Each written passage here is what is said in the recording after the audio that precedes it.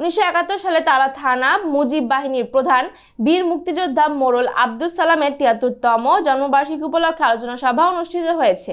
গতকাল সকালে তালা প্রেস ক্লাবে বীর মুক্তিযোদ্ধা আব্দুল সালাম ফাউন্ডেশনের আয়োজনে সভা অনুষ্ঠিত হয়।